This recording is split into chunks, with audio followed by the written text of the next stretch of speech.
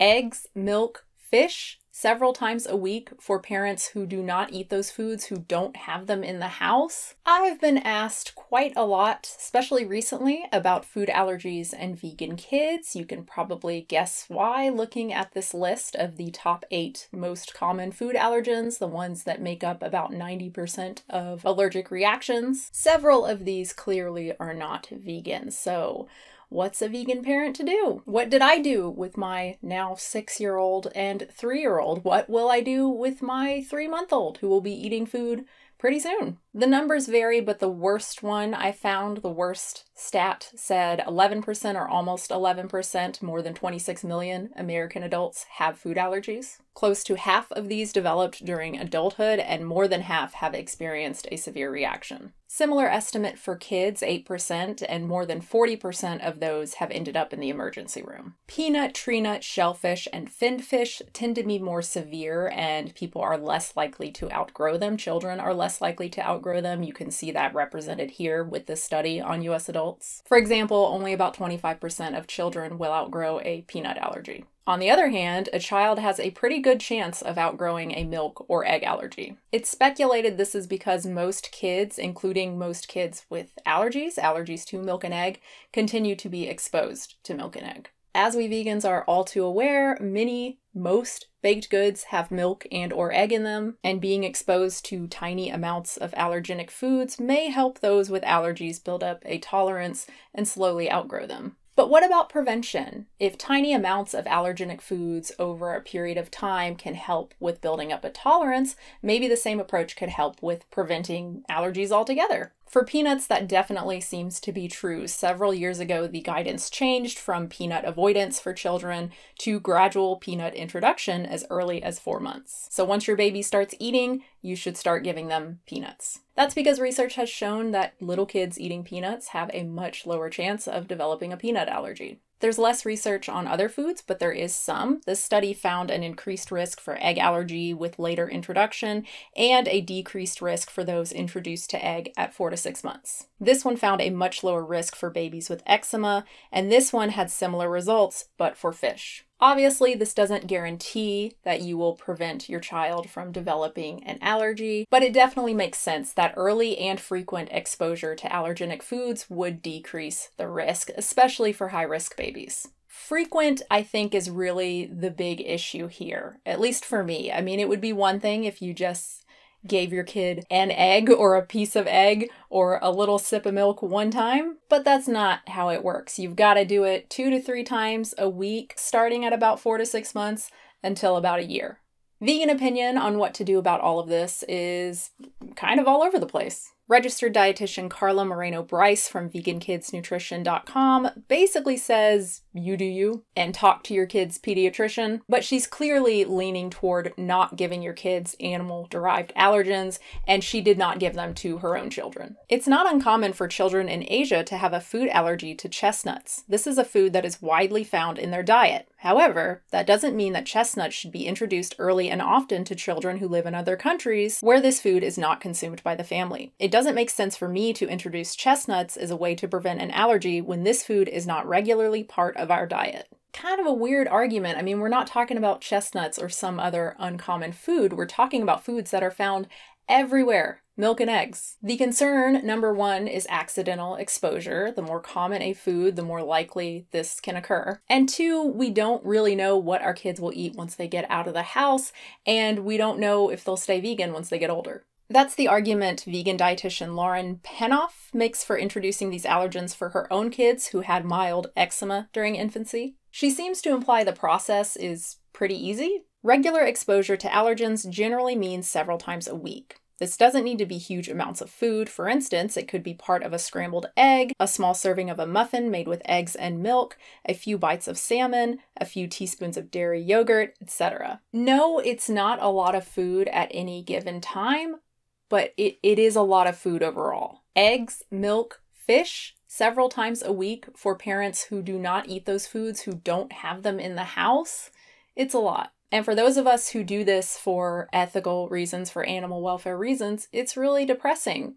Cooking egg, cooking fish two to three times a week for months, But Lauren is not the only vegan who makes this argument. Vegan dietitians Whitney English and Alexandra Caspero say the same thing in their excellent book, The Plant Based Baby and Toddler, and they did give these foods to their own kids as well.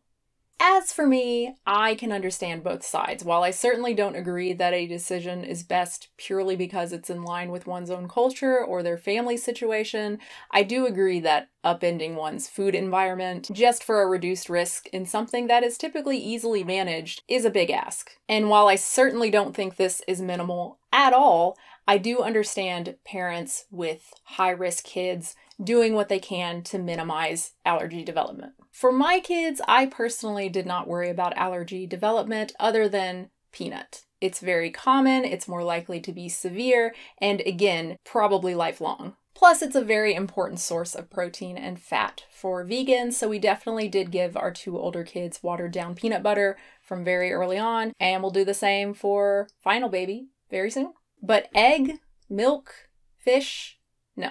Unlike, say, vaccines, there's just far less benefit here and far more inconvenience and sadness. And yuck factor, if I'm being honest. Eggs, fish are disgusting. Even if we weren't vegan, there's no way in hell I would be scrambling eggs three times a week. And remember, there aren't any guidelines for milk or egg or anything other than for peanut introduction, and these guidelines only apply to kids at moderate to high risk. For low risk kids, you can introduce them early if you want, but it's really up to you. Which makes sense, again, even for peanut allergy, the risk of a life threatening, the risk of a severe allergy is very low.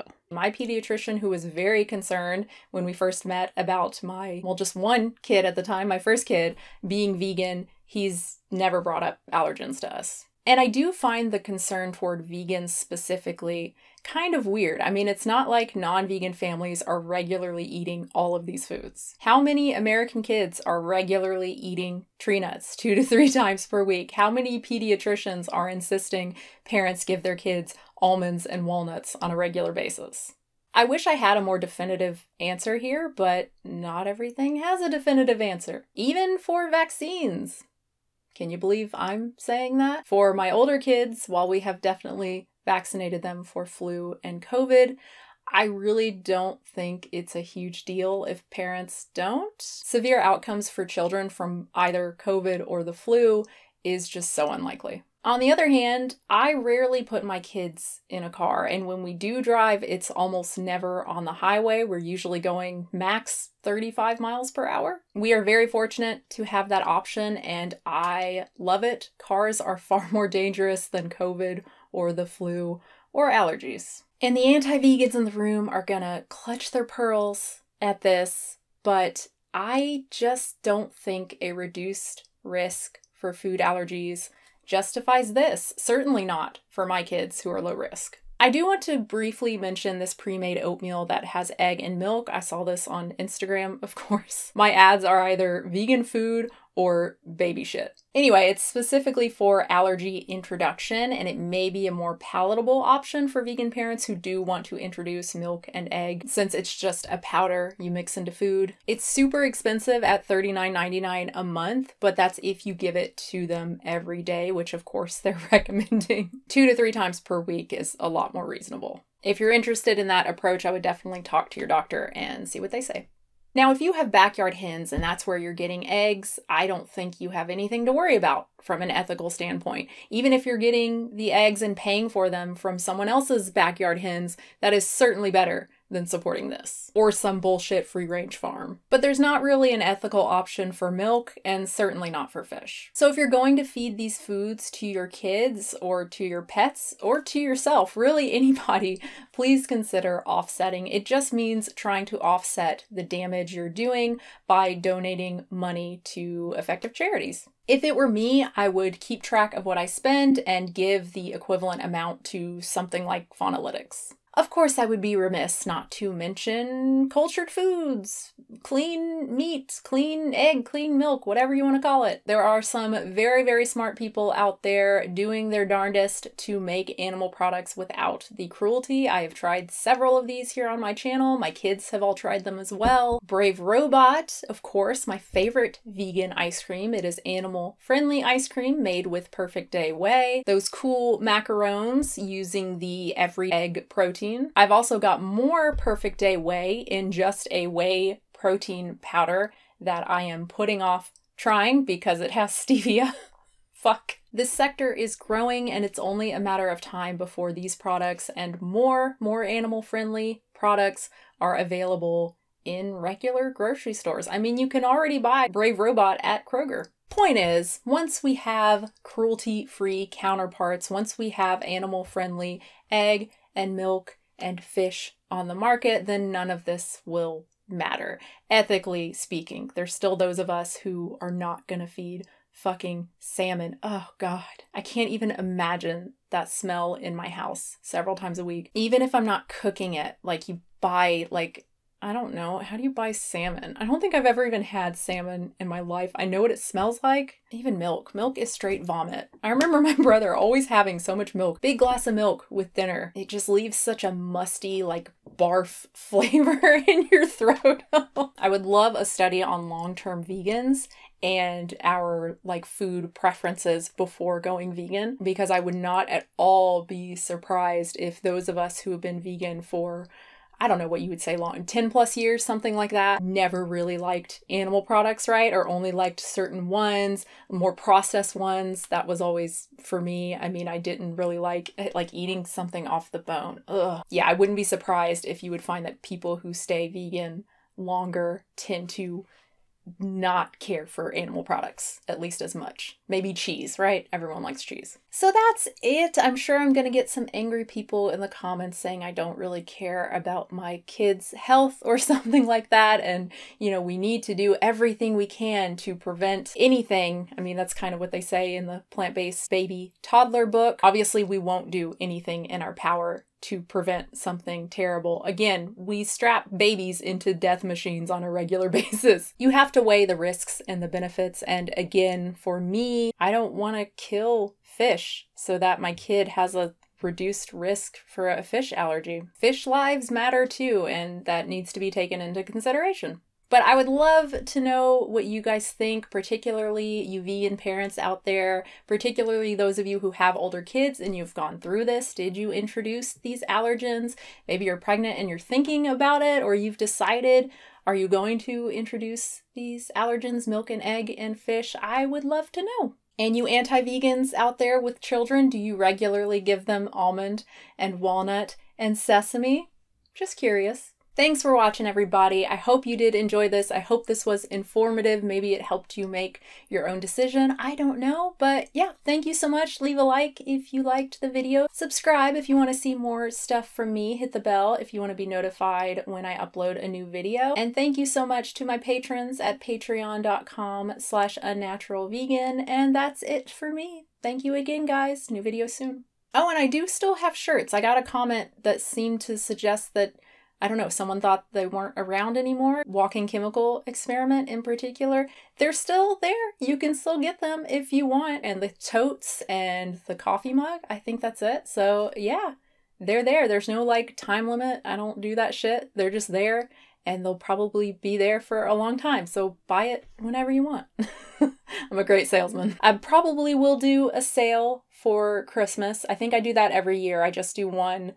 I, I don't like, like, that just happened to me with Vegan Essentials. I guess they're changing the site or something. But I swear to God, I've been getting an email every other day that's like, we have a sale for two days, 20% off. Two days later, hey guys, we have a sale, 25% off. What the? What?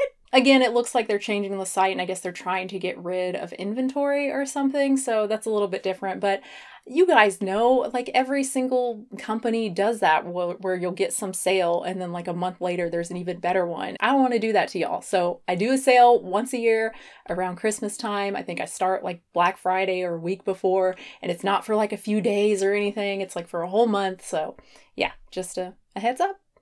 Thanks again. Bye